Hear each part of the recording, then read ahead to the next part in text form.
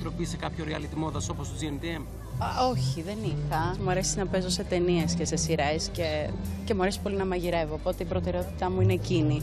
Αν είχατε κάποια πρόταση, θα πηγαίνατε όμως; Δεν ξέρω.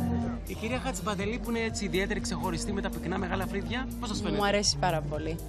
Πάρα πολύ. Μου αρέσει το διαφορετικό. Ε, πρέπει να σας πω ότι όταν ήμουν εγώ μικρή και έκανα το μοντέλο ήμουν διαφορετική. Δεν ήμουν αυτό το κλασικό μοντέλο με τις αναλογίες σωστές και τα λοιπά.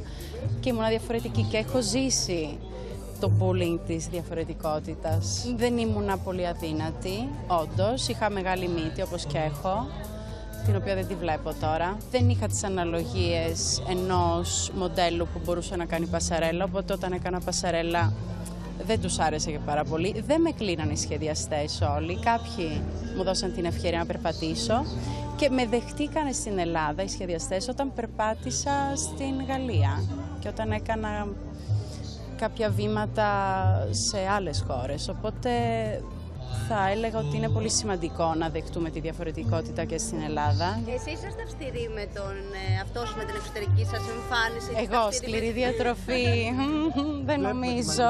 Κρατιέμαι και λέω, δεν θα πας στην κουζίνα να φτιάξεις μακαρόνια, πάστα. Δεν θα πας να φτιάξεις ζυμαρικά. Μην πας, μην πας. Όλη η μέρα να σας πω ότι διαπραγματεύομαι αυτό μέσα στο σπίτι μου πριν έρθω εδώ.